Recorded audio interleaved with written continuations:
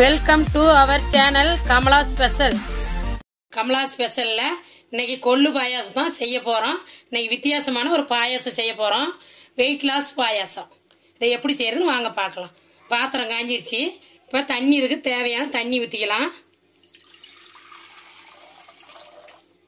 நான் வந்து ஒன்றரை லிட்டர் தண்ணி ஊற்றி வைக்கிறேன். தண்ணி நல்லா கொதிக்கிட்டோம்.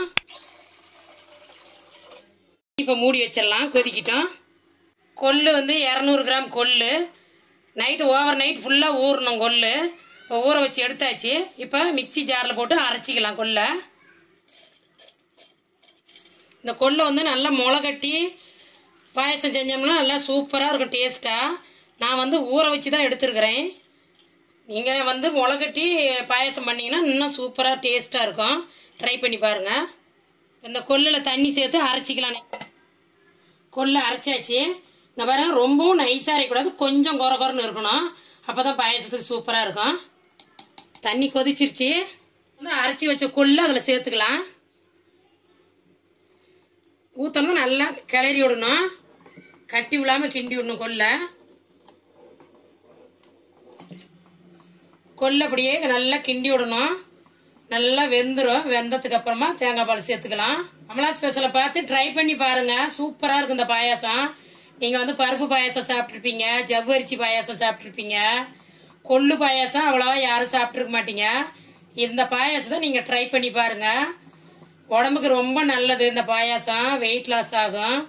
சூப்பர் டேஸ்ட்டாக இருக்கும். ட்ரை பண்ணி பாருங்க.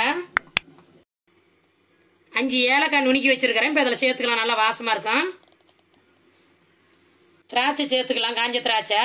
வறுக்கவே தேவையில்ல. எல்லாமே அப்படியே சேர்த்துக்கலாம். சூப்பராக இருக்கும். பத்து முந்திரி பருப்பு சேர்த்துக்கலாம் இதுலேயே. எல்லாமே பச்சையாக தான் சேர்க்கப்பாரு பத்து பாதாம் பருப்பு நுணுக்கி வச்சுருக்குது. இப்போ இதில் சேர்த்துக்கலாம்.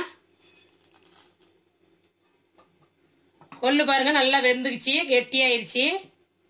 இதுலேயும் நாட்டு சக்கரை உருக்கி வச்சுருக்குது. இப்போ இதில் சேர்த்துக்கலாம். உங்களுக்கு ஸ்வீட் எவ்வளோ தேவையோ அதுக்கேற்ற மாதிரி ஊற்றிக்கோங்க ஒரு பாயசம் நல்லா திக்காயிடுச்சு இப்போ வந்து தேங்காய் பால் சேர்த்துக்கலாம். அரை மூடி தேங்காய் அரைச்சி தேங்காய் பால் எடுத்து வச்சுக்கிறேன். இப்போ அதில் சேர்த்துக்கலாம்.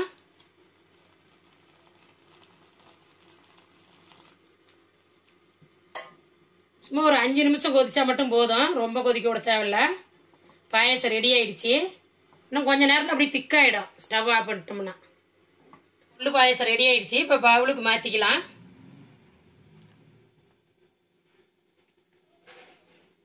கொஞ்சம் பாதாம் சேர்த்துக்கலாம் மேலே டெக்கரேஷனுக்கு கொள்ளு பாயசம் ரெடி ஆயிடுச்சு. இதே மாதிரி நீங்களும் வீட்டில் ட்ரை பண்ணி பார்த்துட்டு கமலா ஸ்பெஷலுக்கு ஒரு லைக் பண்ணுங்கள் ஃப்ரெண்ட்ஸுக்கெல்லாம் ஷேர் பண்ணுங்கள் மறக்காத சப்ஸ்கிரைப் பண்ணிவிடுங்க பக்கத்தில் இருக்கிற பெல் ஐக்கானை கிளிக் பண்ணுங்கள் நாளைக்கு வேறு ஒரு வீடியோவில் சந்திக்கலாம்.